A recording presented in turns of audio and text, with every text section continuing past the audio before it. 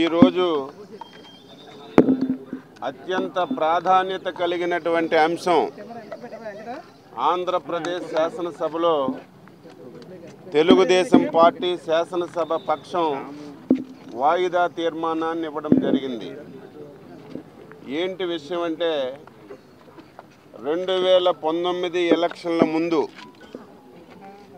ఆనాటి ప్రతిపక్ష నాయకుడు ఈనాటి ముఖ్యమంత్రి రాష్ట్రంలో అన్ని కళాశాలలకు వెళ్ళి రాష్ట్రమంతా పాదయాత్ర చేసి ప్రతి సందుకి ప్రతి గొంతుకి ప్రతి ఇంటికి వెళ్ళి చంద్రబాబు నాయుడు గారు బీజేపీతో ఎన్డీఏతో మోడీతో మిలాఖత్తై రాష్ట్రానికి తీవ్రమైనటువంటి అన్యాయం చేస్తున్నారని చెప్పి ప్రజానీకానికి మోసం చేసినటువంటి ఏ సందర్భంలో నాకు ఇరవై ఐదు మంది పార్లమెంటు సభ్యుల్ని మీరు గెలిపించండి.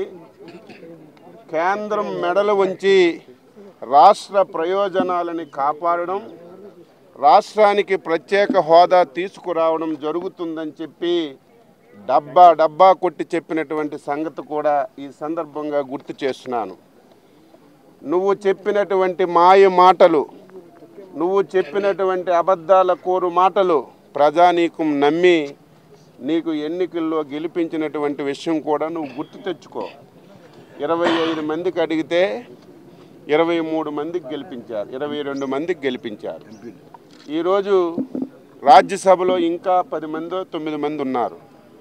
ఇంతమంది పార్లమెంట్ సభ్యులు ఉన్న సంగతి ఒక్కసారి మీరు గుర్తు చేసుకొని నువ్వు కూడా రాష్ట్ర ముఖ్యమంత్రిగా బాధ్యతలు స్వీకరించిన తర్వాత నాకు తెలిసిన విషయం ప్రకారం నిన్నటితో పద్దెనిమిది సార్లు నువ్వు ఢిల్లీ యాత్ర చేశావు.